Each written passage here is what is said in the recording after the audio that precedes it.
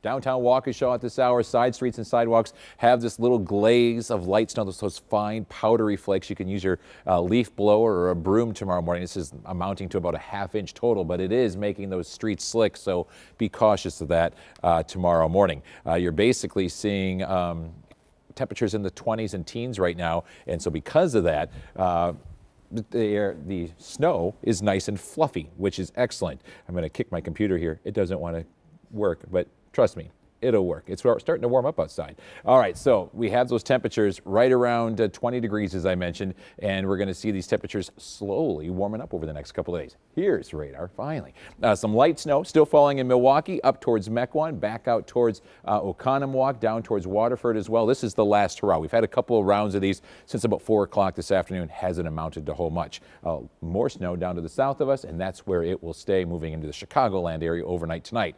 Your high of 25 today. That's that's it. We're currently at 24. Hey, it's better than what it's been the past couple of nights. And a light southwesterly wind. Wind chills in the teens to lower 20s. That's getting better as well. It's baby steps out there. And once again, expecting about a half inch or less of snow. A few clouds still tomorrow morning. Give it some time. Sunshine appears mid-morning and it'll be with us the rest of the day. Wind only 5 to 15. That's a nice change as well. We had winds gusting to 30 today and more light winds and more sunshine for Friday with a gradual warming trend. So the car wash forecast for the next couple of days, I might actually downgrade tomorrow to a yellow just because there's that little bit of snow on the ground today. Going to get your freshly washed car a little dirty. But otherwise, Friday and Saturday, go for it. Sunday, a yellow light because there's some sprinkles and flurries in the forecast. But the next couple of days, drying out. Teens into around 20 tomorrow morning.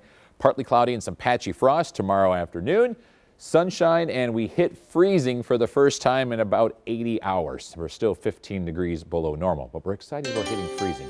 Sad, isn't it? 36 on Friday, also on Saturday. The sun's out, that'll feel good. 38 with some very, very light mix in the afternoon. And then 40s stick around Monday, Tuesday, and Wednesday of next week. And the overall trend quieting down. Meet two-year-old Kyrie. He's adorable, and he's all bundled up for tomorrow morning with temperatures near 20.